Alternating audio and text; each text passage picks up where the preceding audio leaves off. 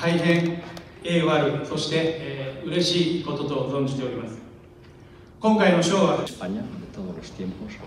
y uno de los de para recoger el premio de esta novena edición.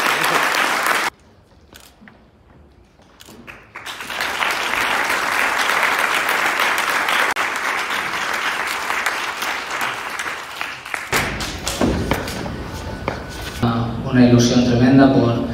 por poder estar aquí, por poder vivir aquí, por el, momento de tomar la decisión de venir a Japón, que no fue una, una decisión equivocada, sino todo lo contrario, que fue una decisión muy, muy acertada, porque, porque hemos podido comprobar que, el grandísimo país que,